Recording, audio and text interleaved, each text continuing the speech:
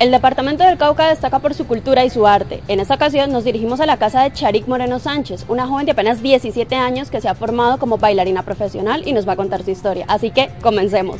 Pues Charik Moreno es una niña muy fuerte, muy dedicada, trabajadora, que pues no, no le tocaba muy fácil, pero pues aquí estamos.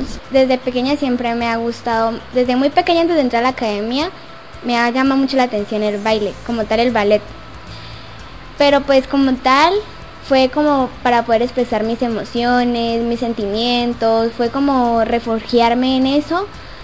Y sí, siempre ha sido eso, como la forma en que expreso con mi cuerpo mis sentimientos, cuando estoy enojada, cuando estoy triste o cuando estoy feliz. Formación desde pequeña, cuando entré a bailar, que yo entré a una academia de aquí Santander de Quilichao, Cauca, que se llama Impacto Rumbero.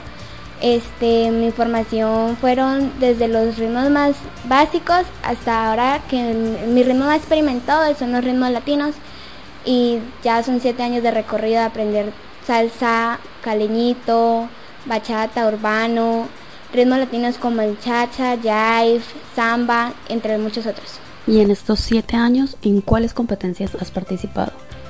Yo he participado en el World Latin Dance Cup, Buga Salsa Festival, en los Juegos Panamericanos, entre otras competencias de baile deportivo que son aliadas a la Liga del Valle y entre muchas otras en los internos de la Academia Impacto Rumbero.